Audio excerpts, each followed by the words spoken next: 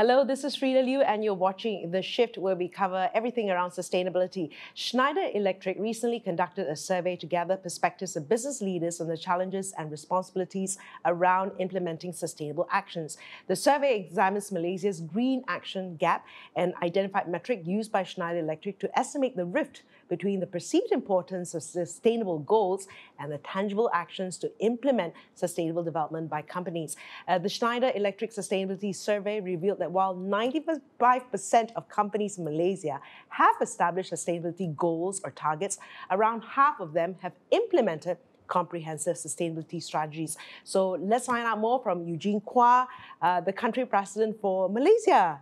Hi, Eugene. Hi, morning, Good to have you here. Thanks for um, having me. Thanks for, for taking the time. Now, um, Schneider Electric did their survey. Uh, what was uh, Schneider Electric's uh, goal with doing the survey? No, thank you. Um, I think uh, let's start with sustainability as a topic. I think it started to get a lot of traction nowadays, right? Uh, we, as Schneider Electric, we provide solutions and help our customer to achieve sustainable goal. Now, as we uh, go along, we start to see a lot of challenges, and that's why we want to do this survey. With the intention of number one, we want to identify what is the perceived uh, importance of sustainability versus the tangible actions that they're right. taking. That's one. And then, of course, moving forward, we also want to understand what are the challenge that we have. So first, the, to identify the green action mm. gap, mm. and also to identify the challenge so that we could see where we could tackle from there on. Right. It's so interesting, right? We were just saying that uh, a lot of people know is important, 95%, but knowing and doing is two different things, right? right. Now, in your opinion, though, uh, and of course, based on the survey, what is the level of readiness among local organizations in driving their sustainability efforts? So, so that, that's exactly the report is, uh, the, the, the, survey was all about. Uh, the survey shows that 46% has this green action gap. Okay. While most of the companies think that is important, we have 46% gap that don't have uh, tangible actions. Mm. So that's where the gap is. So it's important to understand this. Now, what's more important next is what I mentioned. It's where to understand where the gap is. So I think uh, if you look at the survey that we conducted, 95% said it's important. Mm. So that's where we stand. Okay. 46 is the gap. Right. Uh, so I, uh, so depending how do you see it, I think it's a progress of where we move from. So we have moved from uh, and then so we have a 46% right. gap. So at least they yeah. know it's important. Now Correct. we know we got 40 we've got 46% of work that to needs do. to be done. Yes, yes. Exactly. okay. Exactly. Now how can they address the barriers that have cited uh, in the survey like poor incentives or ROI? No. I think the first thing we have to understand uh, to, to, to debunk the myth is ROI. Mm. I think there is uh, facts and proven results of ROI uh, and whether it's uh, uh, what are the timeline that each and every individual or companies is looking at. That's one. Now, secondly, is probably more of the investment. Now, when we talk about investment, uh, instead of doing a full scale, companies, organization can opt for going phase by phases. You do the whole thing right. at, uh, at once. So right. you can do phases by phases. Now, the last option also we are thinking about, the third one is, in fact, there is also a financial institution. Mm. I take example, UOB, U Energy Program, that has been providing uh, financial uh, uh, uh, uh programs is, to yeah. help, yeah, to help companies. Mm. Uh, for companies that want to do investment that are still finding it challenging to do so. Right. Yeah. And I know a few banks are actually doing it. Uh, and also, there are also incentives from Budget 2024 as well. Uh, right. So, what are the key enablers for companies to narrow the green action gap? The key enablers here, the first one is I think um, we have to understand uh, where we are. So, first, mm. start off the baselining. Uh, that's why we want to do this uh, uh, survey. And then we have to strategize in Schneider Electric, we believe three steps approach is the right approach okay. to tackle this. So we start with strategize, where we start looking at uh, the long-term roadmap of it, mm. and then digitize, mm. where digitalization will be the base of everything. Right. And then last one is decarbonize. So these are the three-step approach that we could help to to, to accelerate in this green movement. and, and to help these companies as well. Correct. Um, and can you share some of the readily available opportunities that customers, uh, companies can leverage to meet their sustainability goals? The very quick one, I would say, it's um, the, the first, I think I would say, is digitalization. Okay. Um, in our everyday life now, actually, we, we I think digitalization has the big part of our life, daily Right. life, right? And that's that, that's the major thing here. Uh, when we start to digitize all of our usage, our operations in companies, in uh, buildings as well, we are able to see our usage. So digitalization is important. Right. Uh, I always say you cannot control what you don't measure. yes. So once you measure, you can control, Right. right? Uh, I think the second low-hanging fruit here we have is energy efficiency. Mm. Uh, what we have today, uh, or at least what's uh, the carbon emission that we have today are already, I take for example buildings, Right. are uh, buildings that are already existing in our country, right? Mm. So energy, if you to make the most out of the energy that we have here, is probably the shortest route that we could take. Uh, I think we have went to many panels, many uh, places that I think everyone will experience whenever you sit on a place for panel discussion. Right.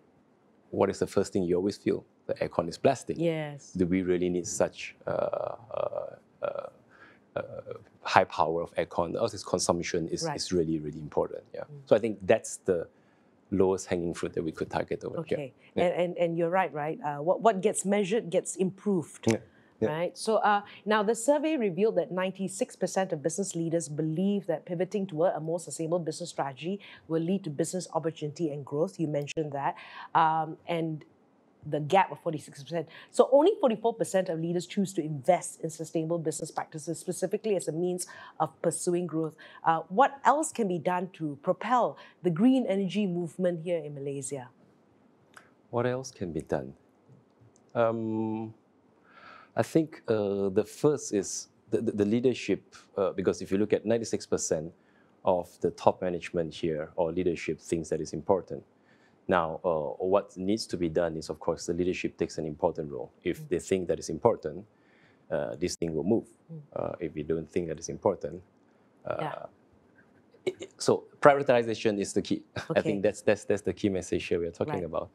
Uh, what other key enablers? I think uh, we have uh, quite a few uh, uh, solutions uh, and technology that you could leverage. Mm. I think what the good news here is technology is already available in the market Mm. that we could do it, uh, be it in energy efficiency, be it in uh, renewable energy, Mm. be it in Right, uh, e-mobility, right, technology has already exist. right. So it's about uh, creating awareness, making everyone understand the importance of it, uh, and then probably the more important part now, the last one is collaboration. I think all organizations, stakeholders, key players have to understand that uh, sustainability is not a journey that you can do it alone. Mm. Uh, Everyone has to take a big, uh, have to play your own part in this. Right, very important. You were saying collaboration. The solutions are all here, right? And when you make it as a priority, then you know that the solutions are here. But then obviously it doesn't. It's, it's not something that can be done alone. You've got to work with the right parties as well, right? Um, now, in the survey, 74% of these goals are short term, spanning the next four years uh, or less. So, what are the potential uh, pitfalls, and what are the what are some mid-term and long-term considerations? The, the message here I think we should understand is first the sustainability journey, like I mentioned, it's a long journey. It's a marathon rather than a sprint. So it's a continuous effort. Right. Even what I shared, strategize, uh, digitize, decarbonize, and then we go back to strategize again. So it's a cycle. Ah, So we okay. keep going back. Think it doesn't end there. Correct. It doesn't end there. Yeah. And then we think a bit about, uh, so we have to balance as well, short term versus long term, because uh, we have, I I understand how business work. Uh, you have to understand your feasibility, your capability in implementing those. So I think that's uh, the key that we have to balance it out. So creating a key roadmap is important. Uh, continuity is important. Right. Yeah. Okay. So strategy, uh, Strategize, strategize, digitize, decarbonize. decarbonize. Correct. Rinse and repeat. Correct. Rinse and repeat. And I think like when you say short term, uh, you were mentioning earlier on, um, people obviously the, the, the immediate one is reducing carbon, um, what do you call it, the energy Correct. in their place, right? And, and that's important. But then there are other areas to look at, right? Right. Um, okay, be, beyond business growth, right? Why is it important for businesses to invest in sustainability efforts? The first, I would say, it's um, I always share it in across different platforms. Okay, Uh, the first thing everyone has to keep in mind is is the right thing to do. okay. That's the right thing to do. Uh, climate change has taken a very big impact on us, Mm. and I think uh, over the news, everyone could have already seen it. Uh, we have more floods than We are what we feeling it. Yes, we are feeling it. Heat wave, and not only just Malaysia, right? Across the globe, right? Uh, I think that's something that is key to understand. Mm.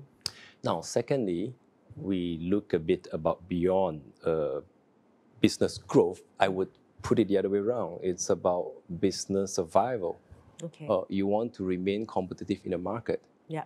Uh, there are a lot of business end users Mm. uh, that are requesting that uh, their suppliers to embark on this journey. Right.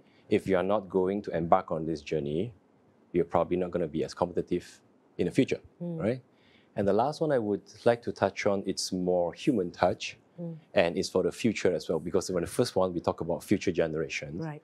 the last one I talk about the next generation as well. Because in order to attract talents, Yeah. you will be uh, it, it will be interesting to find out that a lot of new generation workforce works for a purpose Yes. Right they have to understand they are working for a purpose they would you will be able to attract more talents Mm. if you are going on a sustainability journey Right.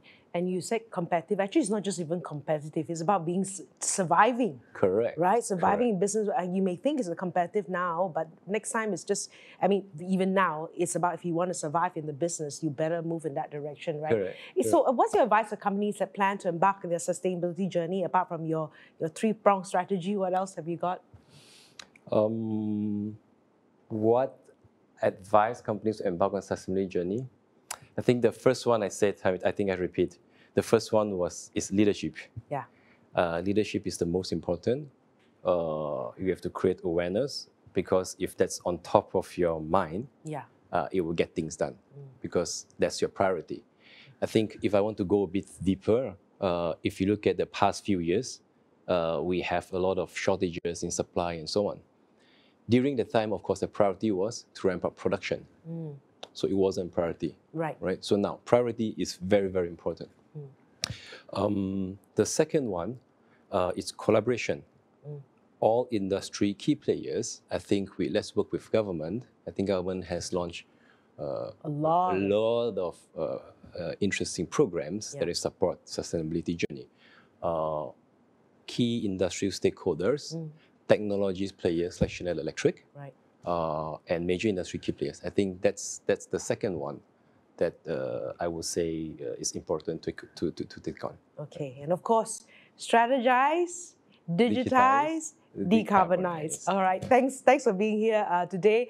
I've been speaking to Eugene Quah from Schneider Electric, and you've been watching The Shift.